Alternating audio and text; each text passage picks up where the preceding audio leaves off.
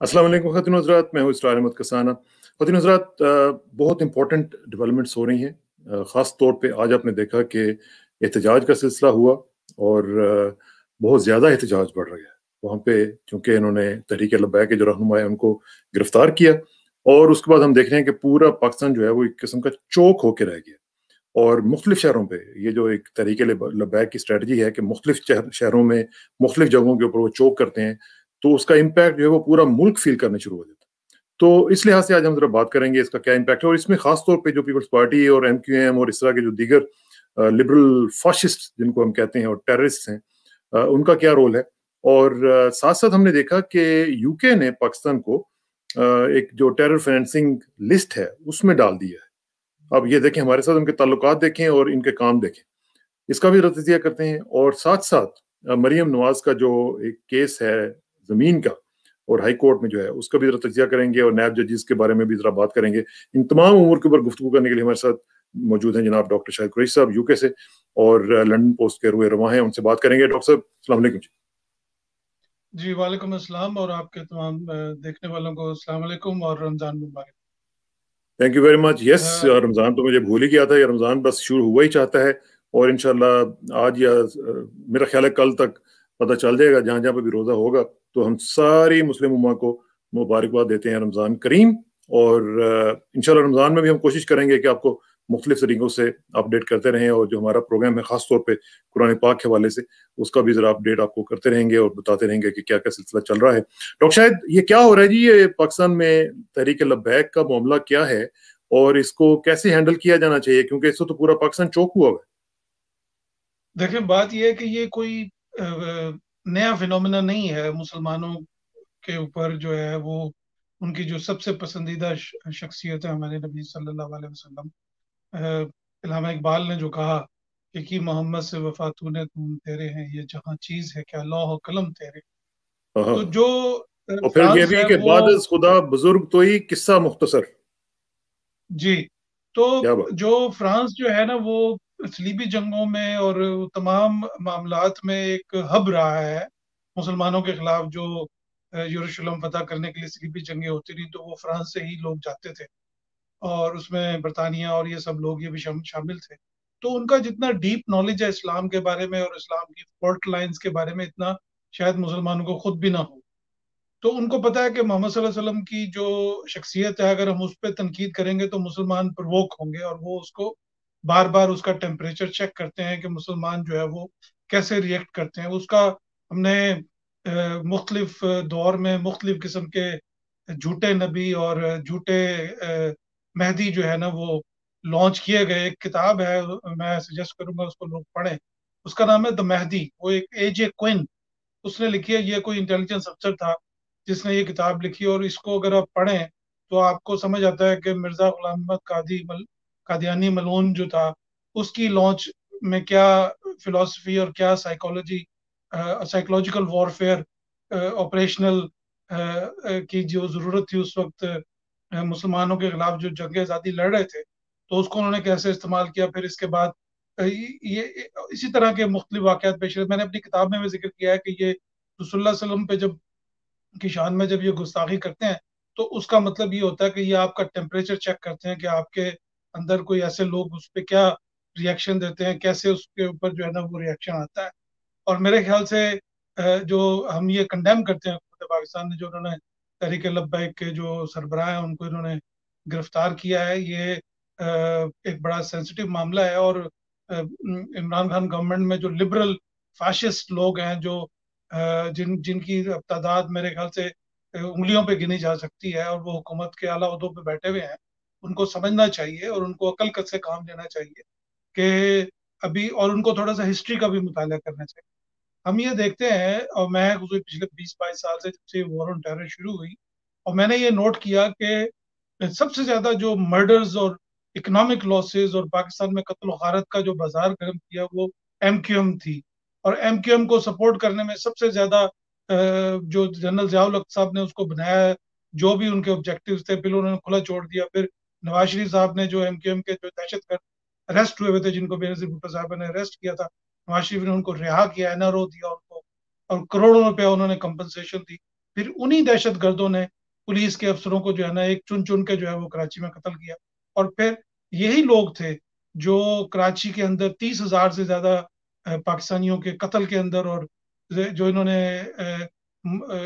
माशी तौर पे नुकसान पहुँचाया हड़तालों की शक्ल में बिल्डिंगों की शक्ल में। बल्दिया टाउन आपके सामने है कि तीन, साढ़े तीन सौ लोगों को कत्ल कर दिया गया और आप तक हमारी हुकूमत जो है ना सिक्योरिटी स्टेब्लिशमेंट कुछ नहीं कर सकी। यही हाल जो दूसरी तरफ़ नून लीग जो है, उनके लिबरल फाशिस्ट ने मॉडल टाउन में ये किया कि दिन दहाड़े लोगों को गोलियाँ मारी और उनके अफसरों को तरक्कियाँ दी गई और वो पुलिस अफसर जो है ना, वो उनके ब्लू आइट थे। सौ से ज़्यादा लोगों को जख्मी किया गया। तो ये जो फाशिज्म है पार्टियों के अंदर, फिर पीपल्स पार्टी रही। आपको पता ही है कि उन्होंने जहाज़ अगवा किया, उन्होंने दहशत गर्दी की, पाकिस्तान में बम धमाके किए। चौरी शाह साहब के जो वाले थे चौरी जहरुलाई उनके कत्ल में ये लोग इन्वॉल्व थे। इसी तरह इनके जो लेटेस्ट अगर आप देखा जाए तो ये बहुत सारी दहशत गर्दी के मामला में पीपल्स पार्टी इन्वॉल्व रही है। पीपल्स पार्टी के बहुत सारे लोग यहाँ पे जो बरतानिया भाग गए थे, जो वो जहाज़ अफवाह हुआ था, उन्होंने पाकिस्तानी फौज के कैप्टन को भी काबुल एयरपोर्ट पे शहीद कर दिया था। तो ये तीनों जमातों का मैंने आपके सामने ज़िक्र किया, ये लिबरल है, ये दहशत गर्दी करती हैं, ये एविडेंस मौजूद है, लेकिन हमारी जो सिक्योरिटी स्टेब्लिशमेंट है, उनका ध्यान सिर्फ़ दाढ़ी वाले लोगों की तरफ़ ही है कि भाई, और मैं एक मतलब इसको ऑब्जेक्टिवली एविडेंस से साबित कर सकता हूँ कि इतना नुकसान जितना पीपल्स पार्टी ने एम क्यू एम ने और नून लीग के दहशत गर्दों ने पहुँचाया है पाकिस्तान को, इतना नुकसान किसी मजहबी जमात किसी मदरसे, किसी मौलवी के पास तो इतनी कैपेसिटी नहीं, मौलवी तो सबसे गरीब एक तबके का एक शख्स है हमारे इस माशरे के अंदर उसके पास ना पैसा है और ये जो बड़ी बड़ी माफिया जो मुल्क को लूट रही हैं जिन्होंने फाइनेंशियल टेररिज्म किया है ये जो ऑक्सफर्ड कैम्ब्रिज और ये उससे कहीं पढ़ के जो पढ़े पढ़े पढ़े जो लोग हैं ये व्हाइट कॉलर क्राइम कर रहे हैं। इन्होंने आईपीपीस के महँगे महँगे मुहिदे साइन किए। ये लोग सब्सिडी लेके शुगर माफिया की शक्ल में अरबों करोड़ों रुपए के इन्होंने जहाज़ बनाए हैं और बिल्डिंगें खरीदी हैं बरतानिया में महल खरीदे हैं। इसमें कोई मौलवी कोई वो लोग जो पाकिस्तान की नामूस के लिए अपनी जान देने के लिए तैयार थे और तैयार हैं उनको मुशरफ जैसे लिबरल और और बेवकूफ़ लोगों ने जो है ना वो एलिनेट एलिनेट कर दी एलिनेट कर दी हाँ ठीक। बल्कि बल्कि ये, ये तो ये तो इतनी बड़ी ताकत बन सकते थे ये तो इतनी बड़ी डॉक पाकिस्तान के लिए और दीन के लिए इतनी बड़ी ताकत बन सकते थे कि अगर इनको पॉजिटिवली यूटिलाइज किया जाता तो पाकिस्तान कहाँ से कहाँ पहुँच जाता? देखिए, बात यह है कि जो मुशरफ ने जो पॉलिसी इख्तियार की, उनका मकसद ही ये था कि इनको दीन के और मुल्कों को इनको आपस में लड़ा दिया जाए। मुसलमानों के, ये इजिप्ट के जो सदर सदर थे, मुर्सी, उन्होंने ये कहा कि जब तुम अपने शहरों को दिन दिहाड़े कत्ल करोगे तो दुश्मनों के कुत्ते तुम्हें चीर फाड़ के रख देंगे। तो मेरे ख्याल से जो सिक्योरिटी स्टेब्लिशमेंट है पाकिस्तान की, जनरल बाजवा साहब और जनरल फैज साहब, उनको ये समझना चाहिए कि जो लोग आपकी फौज के लिए आपके इदारों के लिए या आपके लिए जो लोगों ने कुर्बानियाँ दी, जिनको एम क्यू एम के लोगों ने दिन दहाड़े कत्ल किया, आपने उनका क्या हाल पूछा? मेजर नदीम डार साहब हैं, वो नॉर्वे में रहते हैं। एम क्यू एम ने उनके घर में घुर के, घुस के इस्लामाबाद में आग लगाई, उनके छोटे बच्चे को शहीद किया, कत्ल किया। तो आपकी जो सिक्योरिटी स्टेब्लिशमेंट थी, उसने क्या किया उसके लिए? और मेरे ख्याल से मैं ये समझता हूँ, हम ये देखते हैं कि जब तक आप माफिया को जवाब उसी की जबान में नहीं देंगे उनके हौसले और बुलंद होते जाएँगे। ये तो कोई तरीका नहीं कि एक शख्स अपनी ड्यूटी कर रहा है और वो इसी तरह वली खान बाबर जो है वो उनका केस भी खत्म हो गया उनको एमक्यूएम ने कत्ल किया था वो भी उनके भी लोग रिहा हो गए पिछले एक दो महीने के दौरान हाईकोर्ट ने उनको भी बरी कर दिया। इसी तरह हमारे फैसल कुरैशी साहब थे लाहौर के अंदर वो आ, उनको शहीद किया गया। उनका कातिल भी जो है ना वो उसको भी हाईकोर्ट ने जो है ना वो बरी कर दिया। वो उसका भी कोई कुछ परेशान हाल नहीं है। तो जब तक आप उन लोगों को जो लोग पाकिस्तान के मुहब वतन है, पाकिस्तान के साथ खड़े होने वाले लोग हैं, जब तक आप उनको सपोर्ट नहीं करेंगे, उनको, उनके कत्लों को इवेंज नहीं करेंगे। टर्की जबान में, टर्की जो है वो अभी उन्होंने जो ऑपरेशन किया शाम में, और उसके बाद जो उन्होंने इराक में जो ऑपरेशन किया तो तेरह सोल्जर्स और सिविलियन को कत्ल किया था पीके के ने। उसके जवाब में उन्होंने को सौ से ज़्यादा पीके के टेररिस्ट को मारा और प्रेसिडेंट अर्दुगान ने कहा कि हमने उनको इवेंज किया। इसी तरह अजरबैजान के सदर ने जब ऑपरेशन हुआ निगोनो काराबाग में, उन्होंने ये कहा कि हमने अपने उन तीस साल पहले जिन लोगों को इन्होंने निकाला था, उनके हमने बदला लिया, उनको उनको इवेंज किया है। तो ये एक इंटरनेशनल एक बड़ी हमारी हिस्ट्री रही है कि जब तक आप अपने जो आपके दोस्तों अहबाबों के जो कातिल होते हैं, जब तक आप उनको इबरत का निशान नहीं बनाएँगे तो लोग आपके साथ कैसे शामिल होंगे? आपका काम है कि जो इसमें कई मसाइल है ना डॉक्टर उसमें मसाइल ये हैं कि हमारे अपने जो कई हल्के हैं वो इस तरह के काम जो है वो नहीं करने देते कॉम्प्रोमाइज कर लेते हैं। लेकिन आप मुझे थोड़ा सा आखिर में ये इस इस टॉपिक पे ये जरा बताएँ कि क्या करना चाहिए? उनका मुतालबा ये है कि फ्रांस के एम्बेसडर को निकालें यहाँ से। और उसके ऊपर हुकूमत एग्री कर चुकी हुई है दो माहदे कर चुकी हुई है और कह चुकी है जी ठीक है हम पार्लियामेंट में लेके जाते हैं फिर बैक ट्रैक कर जाते हैं फिर उसको डिली डैलिंग करते हैं या तो माहिदा ना करते। अगर आपने नहीं निकालना तो माहिदा ना करें। आप क्या समझते हैं कि निकालना चाहिए या नहीं निकालना चाहिए? क्या हो जाएगा? देखें बात ये बात यह है कि हम एक ग्लोबल वर्ल्ड में रहते हैं और हमें अभी इंडिया में भी पाकिस्तान का कोई सफीर नहीं है इस वक्त। तो ये डिप्लोमेटिक रिलेशंस जो होते हैं वो तो जंग के दौरान भी खत्म नहीं होते। मुख्तलि मुल्कों में जब जंगें हो रही होती हैं तो फिर भी उनके डिप्लोमेटिक लिंक्स होते नहीं तो डिप्लोमेटिक रिलेशन को स्केल डाउन कर लेना जैसे अभी जैसे हमने इंडिया के साथ किया हुआ जी पाकिस्तान में भी पाकिस्तान का फ्रांस में कोई सफीर नहीं है और पाकिस्तान गवर्नमेंट जो है वो फ्रांस की गवर्नमेंट से ये रिक्वेस्ट कर सकती है कि हम आपके फ्रांस और पाकिस्तान के जो रिलेशनशिप है हम उसको डाउनग्रेड कर रहे हैं। यानी हम यहाँ पे आपके साथ फुल डिप्लोमेटिक रिलेशनशिप नहीं रखेंगे बल्कि हम एज ए प्रोटेस्ट जो है वो हम उसको डाउनग्रेड करें this possible it is not something which is beyond क्या हो जाएगा? देखिए ना अच्छा जरा ठहरे ठहरे डॉक डॉक जरा ठहरे। प्रोस एंड कॉन्स देख लेते हैं। कि अगर पाकिस्तान निकालता है, पाकिस्तान को फैटक में वैसे वो नुकसान पहुँचाने के दर पे हैं। हमारी ट्रेड उनके साथ कितनी है, आप जरा देख लें। फिर हमारे साथ उनके डिफेंस रिलेशनशिप क्या है? फिर आए दिन हमारी कम्युनिटी को वहाँ पे ये तंग किया जाता है, कभी स्काफ के इशू के ऊपर, कभी स्कूलों में बेड़ागर करते हैं, कभी कुछ करते हैं। यानी they hate Muslims like anything यानी ये वाहिद ऐसा वाहिद मगरबी मुल्क है, जिसमें मुसलमान जो है वो इस वक्त इतने इनसिक्योर फील करते हैं, जैसे किसी और मुल्क में नहीं फील करते। क्या होगा? देखिए, ये ये को गवर्नमेंट जियो स्ट्रेटेजिक पॉलिसीज़ होती हैं उनकी, जैसे टर्की के अंदर उनका बड़ा, अभी टर्की ने तीन उनके जासूस पकड़े थे कुछ महीने पहले अभी मैं, हमने भी खबर लगाई थी इस्तंबुल में से, जो, जिन, जो ये जासूसी कर रहे थे कि वहाँ पे कितने इमाम हैं, मस्जिदों में कितने लोग आते हैं रिलीजियस एलिमेंट्स पे वो स्पाइंग कर रहे थे फॉर फ्रेंच इंटेलिजेंस उनको टर्किश इंटेलिजेंस ने गिरफ़्तार किया। उसके अलावा टर्की स्कूल यहाँ टर्की में तकरीबन काफ़ी सारे चार पाँच के करीब फ्रांस, फ्रांसीसी स्कूल है। इनका एक बैकग्राउंड है जो ओटोमान के साथ कॉलोनियल हिस्ट्री के साथ लिंक है। और इसमें जो चीज़ करने वाली वो ये है कि हमें अपनी इकोनॉमिक इंडिपेंडेंस वो करनी चाहिए। हमारी लीड जो है पाकिस्तान की, यानी भुट्टो साहब, बेनजीर साहब है, ये सारे, जब फ्रांस से इन्होंने मिराज खरीदे थे तो भुट्टो साहब ने 1.5 मिलियन कमीशन के जो रिश्वत थी वो उन्होंने ली थी और उसको बेनजीर भुट्टो साहबा के बाद उनकी वालदा ने वो उन्होंने वसूल किया बरतानिया फ्रांस में जा इसी तरह फिर वो आप दोस्तों का जो केस हुआ उसमें भी ये सिक्सटी मिलियन डॉलर का जो केस है पीपल्स पार्टी पे ये उसी पैसे से रिलेटेड है। जो लेकिन लेकिन लेकिन फिर मैं back to the back to that point कि क्या हम इसको डाउनग्रेड करके फ्रेंच एम्बेसडर को अगर निकाल दें तो आप समझते हैं कि इसमें कोई मसला नहीं है हम कर सकते हैं। क्यों नहीं कर सकते? इसमें इसमें जो है वो आपने एक स्टैंड लिया और आपने एक बीइंग और वैसे भी वैसे भी डॉक जिसे आप शुरू में ये कह रहे थे कि जी नबी करीम वसल्लम की जात के ऊपर जिनके जिनके कदमों की खाक के ऊपर हम सब कुर्बान हैं। ठीक है? उनके लिए अगर हम ये करते हैं तो मेरा ख्याल है कि हमें तो वैसे भी आ, हमारी आखिरत भी बन जाएगी और हमारी दुनिया में भी हमारी लोग अल्लाह ताला किसी ना किसी तरीके से मदद कर दे। देखें बात यह कि जहाँ पे नवाज़ शरीफ जैसे गद्दार वतन लोग हों जो मुमताज़ कादरी शहीद को ग्यारह बजे रात को फांसी दे दें खुश करने के लिए और पाकिस्तान के कॉन्स्टिट्यूशन में तब्दीली के लिए बिल पेश करें, कादियानियों को खुश करने के लिए। और फिर वो कहें कि मुझे क्यों निकाला? तो अगर नवाज़ शरीफ को ये बात समझ में नहीं आई कि नवाज़ शरीफ, तुझे तो अल्लाह ने निकाला, तुझे तीन दफ़ा मौका दिया और तुझे अल्लाह ने तुझे इसी गुस्ताखी और गुस्ताखी रसूल होने की सदा तुझे अल्लाह ताला ने दी कि तुझे तीन दफ़ा का वज़ीर अजम बनाया और फिर तुझे इतना जलीलो ख्वार किया कि तू अब धक्के खाता फिर रहा है। मुख्तलिफ़ मुल्कों के अंदर तेरे पास कोई इज़्ज़त नहीं है बची तेरे पास। तो ये एक सबक है ये पाकिस्तान के लिए भी एक सबक है कि जो लोग रसुल्ला से गुस्ताखी करते हैं उनसे गद्दारी करते हैं अल्लाह ताला उनसे उन्हें दुनिया के अंदर जो है वो जलील ख्वार कर देता है। और हमने ये नोट किया है कि आप की तमाम चीज़ें अपनी जगह पे, ये एक साइकोलॉजिकल वॉरफेयर और फोर्थ और फिफ्थ जनरेशन वॉरफेयर का हिस्सा है, ये किताबें लिखना रसुल्ला की शान में गुस्ताखी करना।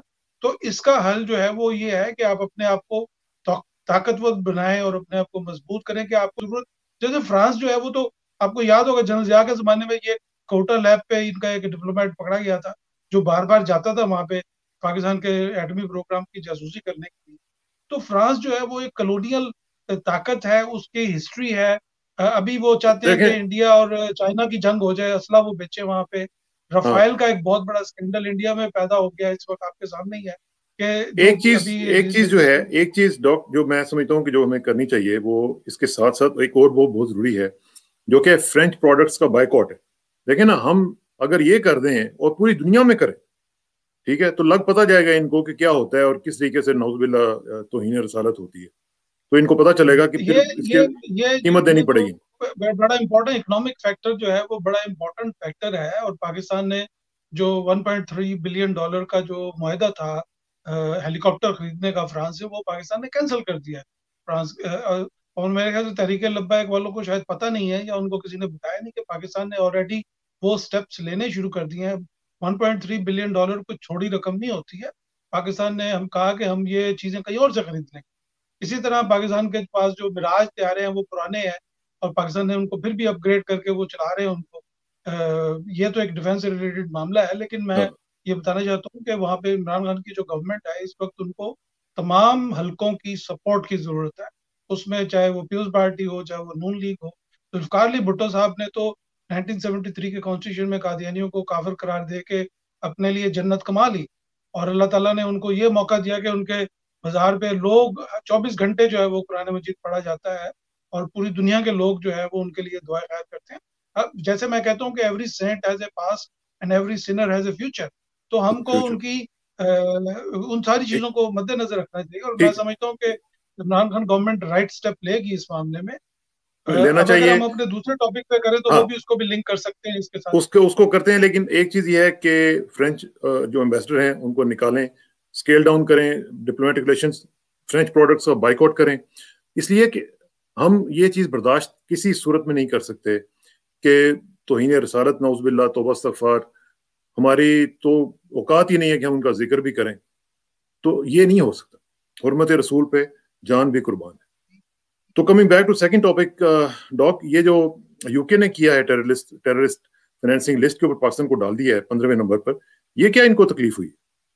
देखें आज ये यहाँ पे एक रिपोर्ट शाया की है ब्रिटानिया ने, और उसमें उन्होंने कहा है कि हम पाकिस्तान की जो मनी लॉन्ड्रिंग और की जो एक्टिविटीज़ हैं और पाकिस्तान से ओरिजिनेट करती हैं, पाकिस्तान की जो लीट है, वो मुख्तलिफ़ जराए से मनी लॉन्ड्रिंग करती है और वो पाकिस्तान से पैसा चोरी करके बरतानिया में लाते हैं और बरतानिया से पैसा वापस लेके जाते हैं और यहाँ पे उन्होंने जो है वो बड़े बड़े घर रियल एस्टेट में इन्वेस्टमेंट की है, यहाँ से वो, ये जो डायमंड्स है प्रेशियस मेटल्स प्रेशियस स्टोन्स और इसी तरह की चीज़ें वो खरीदते हैं और उनमें उन्होंने अपनी इन्वेस्टमेंट की है।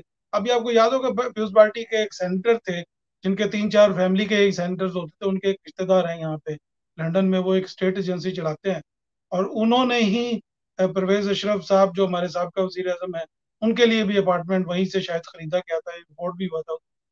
तो यहाँ पे जो बड़ी बड़ी इस तरह पीपल्स पार्टी के और भी बहुत M N A general Musharraf साहब का भी अपार्टमेंट यहाँ पे है, इस तरह जनरल्स भी हैं जजेस भी हैं।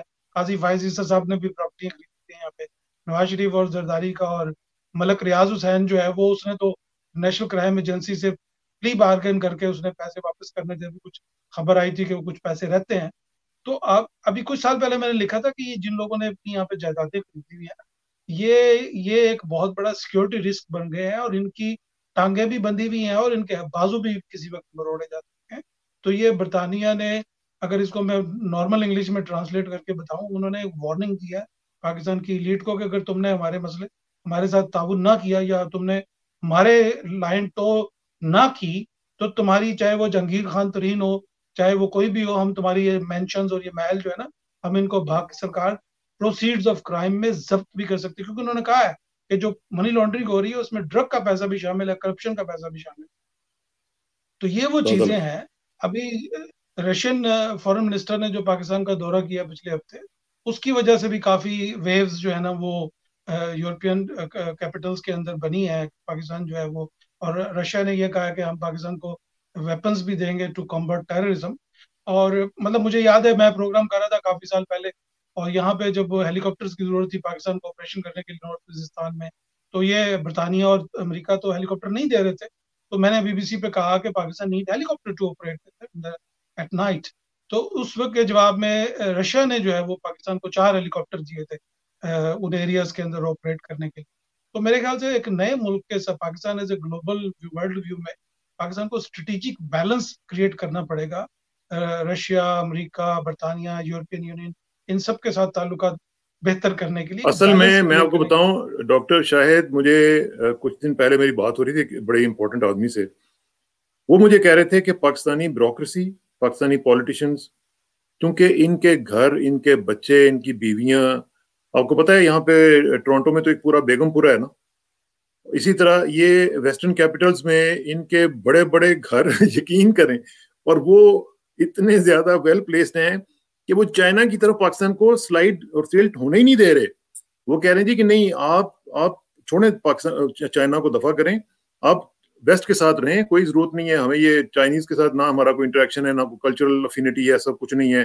तो वो उनको रोक रहे हैं पाकिस्तान को, क्योंकि इस वक्त जो स्ट्रेटेजी बैलेंस आप कह रहे हैं ना, वो नहीं हो सकता। वो ये कह रहे हैं कि चाइना की तरफ़ अब जाए ही ना। कनाडा जो है कनाडा जो है वो फाइव आइज़ में शामिल है। फाइव आइज़ का आपको सुना ही होगा कि पाँच हाँ, न्यूजीलैंड वगैरह।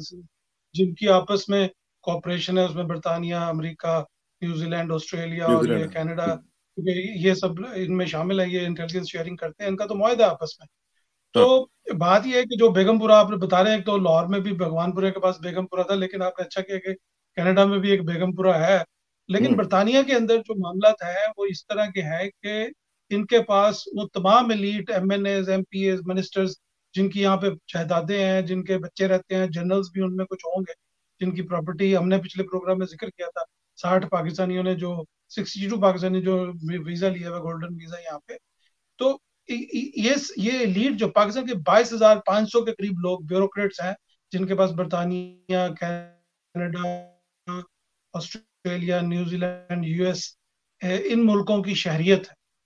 तो एक तो वो लोग हैं जो मैं और आप जैसे लोग हैं जो यहाँ पे आए हैं, हम भी इनकी वजह से आए हुए हैं, हमें भी कोई ज़रूरत नहीं थी वहाँ से आने की।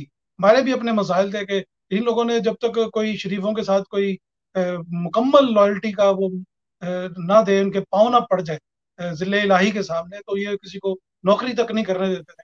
तो जो कुछ लोग बेचारे अंडर डेवलप्ड एरिया से आए हुए हैं यहाँ इन मुल्कों के अंदर और वो मेहनत मजदूरी करके पैसे कमा के अपने फैमिलीज़ को भेज रहे हैं और उनको चला रहे हैं ये जो पॉलिटिशियंस और ब्यूरोक्रेट्स हैं ये उस उनका माल लूट के ये वापस लेके आ रहे हैं यहाँ यानी एक अजीब एक साइकिल बना हुआ है। और मैं आज सुबह एक प्रोग्राम कर रहा था मैंने उसमें कहा कि बरतानिया के मिनिस्टर्स के भी वो उन जगहों पे अफोर्ड करना नहीं कर सकते जहाँ पे हाँ। नवाज़ शरीफ और जरदारी और ये मिनिस्टर्स रह रहे हैं। हमारे जो प्राइम मिनिस्टर्स हैं हमारे कई मिनिस्टर कोई मिनिस्टर मैंने नहीं सुना कोई पार्क लेन में रहता हो या कोई एजवे रोड पे रहता हो वो बेचारे अपनी अपनी कंस्टिट्यूएंसीज में दो दो तीन तीन बेडरूम्स के। घर है उनके वो वहाँ पे रहते हैं जो यहाँ के एम हैं और लॉर्ड्स के जो मेंबर हैं। मतलब लेकिन इन लोगों ने जो जो इनका जो लाइफस्टाइल है वो बियॉन्ड इमेजिनेशन है कि एक थर्ड वर्ल्ड कंट्री का एक गरीब मुल्क जहाँ पे लोगों के पास पीने के लिए पानी नहीं है जहाँ पे लाड़काना जैसे शहर में लोग एड से मर रहे हैं जिसका न्यूयॉर्क टाइम्स तक ज़िक्र करता है। जहाँ पे लोग चूहे और ये कुत्ते के काटने लेकिन वो वो लेकिन डॉक्टर शाहिद वो कहते हैं कि हम लोग खानदानी अमीर हैं यार आपको क्या तकलीफ़ है? मतलब है कि आप जलते हैं आप सड़ते हैं क्या मतलब तो खानदानी नस्लों से अमीर है नहीं यार? नस्लों से आ रही है पाकिस्तान के शाहबनामे में और पाकिस्तान के जो रिकॉर्ड है गजट ऑफ़ पाकिस्तान में पाकिस्तान के तमाम अमीरों और नवाबों की लिस्ट मौजूद है। अगर वो कहेंगे कि उनके अब्बा दादा क्या करते थे किसके पास कितनी भैंसे और कितने गाय थी और कौन कितने छोटे एकड़ में रहता था, वो हमें पता है। तो हमें मजबूर ना करें कि नवाज़ शरीफ साहब राम गली से और ग्वाल मंडी से लेके और उन्होंने पार्क लेन तक का जो सफ़र किया और जरदारी साहब बम्बिनो सनमे में टिकटें बेचते बेचते जो है वो सरे पैलेस तक पहुँच गए। जुल्फकार अली भुट्टो का यह आलम था कि उनको जो है वो बम्बई में जब उनकी प्रॉपर्टी पे कब्जा किया गवर्नमेंट ने तो वो अपना इंडियन पासपोर्ट लेके पहुँच गए इंडियन सुप्रीम कोर्ट में। मैं तो इंडियन शहरी हूँ, मेरी तुम प्रॉपर्टी वापस करो। तो वो उन्होंने वापस की और फिर उन्होंने पाकिस्तान में आके उसका क्लेम भी ले लिया। तो हमारे हमें जो है वो इनको इतना ना करें कि हम आपके जो है वो पोतड़े सड़क पे अच्छा, रख अब इन्हीं की इन्हीं की इन्हीं की खानदान की जो चश्मो चुराग हैं मरियम सफदर साहिबा जरा उनके बारे में बताएँ कि इनका जो केस है ज़मीन के हवाले से हाई कोर्ट में उसकी क्या पोजीशन है? आखिर में मुख्तसरन ये बताना क्योंकि हम लोग अपने टाइम तकरीबन क्रॉस कर चुके हैं। देखिए आज बात यह है कि आज हाई कोर्ट के अंदर हेयरिंग थी बेल प्री अरेस्ट बेल के लिए मरीम नवाज़ ने जो है वो अप्लाई किया था जाती उम्र में जो 1600 या 1400 एकड़ के करीब जगह है जो जिसका इनके पास कोई सबूत नहीं है कि इन्होंने कैसे खरीदी कहाँ से आई और हाई कोर्ट ने जो है एक अजीब डायरेक्शन दी उन्होंने ये कहा बल्कि लीगल डायरेक्शन लेकिन उनके जो मोहब्बत है आलिया और उस्मा की जो मोहब्बत हाँ। शरीफों के लिए है वो किसी और के लिए नहीं और मैं समझता हूँ कि जब तक ये आलिया और उस्मा इनके साथ मिली रहेगी पाकिस्तान तरक्की नहीं कर सकता। अब ये आलिया और उस्मा ने ये कहा कि जी इनको अगर आपने अरेस्ट करना होगा तो नैब कम अज कम दस दिन पहले दिन इनको नोटिस देगा कि हमने आपका अरेस्ट वारंट इशू कर दिया है और हम आपको अरेस्ट करने वाले ताकि वो आलिया या उजमा से आके आप यकीन करें डॉक्टर शाहिद कल हम बात कर रहे थे वो जावेद लतीफ के बारे में कि जी उसको जस्टिस चीफ जस्टिस लाहौर हैं। उन्होंने कहा कि जी आप बड़े बनते हैं आपको चूटनियों की तरफ़ मसल दिया जाएगा। मैंने कहा ये जो है ना इसका मतलब ये है कि जो अगला फैसला आ रहा है ना ये उसके ऊपर फेवर देंगे इनको नून वालों। और एग्जैक्टली exactly उन्होंने काम ये किया वेरी क्विकली मैं बात करूँ चीफ जस्टिस साहब ने बड़े एहतराम के साथ इन्होंने वो नैब के वो तीन जज जो शरीफों का राना सनाउल्ला के केसेस सुन हाँ। रहे थे शहबाज का केस उन तीनों को इन्होंने ट्रांसफ़र कर दिया और उनको ये कहा कि तुमने इमीडिएटली फ़र्स्ट ऑफ़ अप्रैल और सेकंड ऑफ़ अप्रैल को रिपोर्ट करना अपनी जगह पे। लेकिन चीफ जस्टिस साहब बड़े एहतराम के साथ जनाबे वाला, आपने ये इतने इंपॉर्टेंट केस सुन रहे थे, आपने उनकी जगह पे तो नए जज नहीं लगाए, किसी नए जज की आज तक एज वी स्पीक किसी नए जज की पोस्टिंग नहीं हुई उस जगह पे। और आपको याद होगा कि नैब में जो केस चल रहा था नवाजी साहब का तो उसमें जो जज साहब थे वो रिटायर होने वाले थे, लेकिन चूँकि वो केस सुन रहे थे तो सुप्रीम कोर्ट ने उनको एक्सटेंशन दे दी थी कि आप चूँकि शुरू से केस सुनते आ रहे हैं तो आप उसको कंटिन्यू करें। तो मेरे ख्याल से इतना कोई ऐसा कोई भावलपुर में और डेरा गाजी खान में एकदम इतनी कोई बड़ी इमरजेंसी नहीं है हाँ, कि कोई और नहीं जा सकता था वहाँ पे। ये जो उजमा और आलिया ने जो ये एकदम शरीफों को जो फेवर दी है और जो उन्होंने शरीफों शरीफैन और ये उन्होंने जाके अदालत में जब मुस्कुराए हैं वो जब उस जज साहब का आखिरी दिन था और वो अपना ऑर्डर लिख रहे थे तो उस दिन ये जो उनके चेहरे पे मुस्कुराहटें थी राना जनाउल्ला के हमजा शबाज के और शबाज शरीफ के तो ये उजमा और आलिया जो है ये अपनी इज़्ज़त का तो बेड़ा गर्क कर रही है अपनी इज़्ज़त तो ये लुटवा चुकी है। वैसे पता है क्या हमारे शायद मुल्क के लिए कुछ मैं मैं आपको बताऊँ मुझे इतनी शर्म आती है इनकी बातें सुन के। मेरा ख्याल है कि इनको अपने नाम बदल लेना चाहिए। जस्टिस काजिम शरीफ रख लें ठीक है? और ये उनको साफ़ तौर पे बता दें कि जी मैं आपका जज हूँ मैंने ये हक खिदमत अदा करना है इसलिए मेरे ऊपर कोई बंदा इतराज ना करे। और अपना कम अज कम नाम बदल लेंगे तो हमें भी थोड़ा सा पता चलेगा यार इनसे क्या एक्सपेक्ट कर रहे हैं।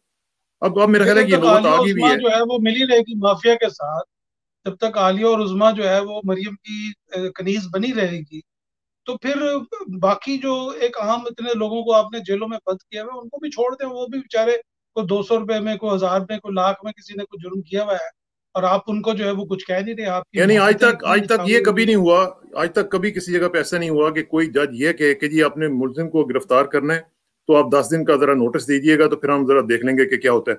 दिस इज़ अनबिलीव जनाब पाकिस्तान में पुलिस तो लोगों को उठा के पहले ले जाती है और वो पर्चा बाद में दर्ज करते हैं। आपको पता है और मुझे भी पता है कि पुलिस जो है वो इतनी मोहब्बत कभी किसी के साथ नहीं करती और नैब ने भी आज तक कभी इतनी मोहब्बत नहीं की। वो तो बंदे को पहले पकड़ के ले जाते हैं और और वो केस उसको बाद में बताते हैं कि जी तुझे किस केस में हमें पकड़ा है? लेकिन आलिया और उजमा जो है वो मुकम्मल तौर पर बिछ चुकी हैं शरीफों के सामने। अब इससे ज़्यादा तो मैं कुछ नहीं कह सकता। हाँ, इस पे क्या नहीं उनको कुछ भी नहीं होना। ख्याल नहीं है तो इनको इज़्ज़त हो तो तब ख्याल होता नहीं यार। डॉक्टर शायद छोड़े इनको। इनशाला आपसे रब्ता रहेगा और चूँकि टाइम कम है इसलिए हम इस पे यहाँ पे क्लोज करते हैं। लेकिन रमज़ान करीम रमज़ान मुबारक की अब सब लोगों को मुबारक। अल्लाह ताला हमें तोफीक दे कि इसमें हम ज़्यादा से ज़्यादा कुर्ब इलाही हासिल कर सकें। डॉक्टर शायद आपका बहुत शुक्रिया। आखिर में दुआ कि मेरी इज़्ज़त के लिए काफ़ी है कि मैं तेरा ही बंदा। हूँ मेरे फ़ख्र के लिए काफ़ी है कि तो ये मेरा परवरदिगार है। तो बिल्कुल उसी तरह जिस तरह मैं चाहता हूँ। मुझे भी उसी तरह बना दे जिस तरह तू चाहता है। स्पुरदम बतोमाए खेचरा तो दानी हिसाब कम पिछड़ा मुझे स्टाक्साना को डॉक्टर शाहिद साहब के साथ इजाज़त दीजिए जल्दी मुलाकात होगी इंशाल्लाह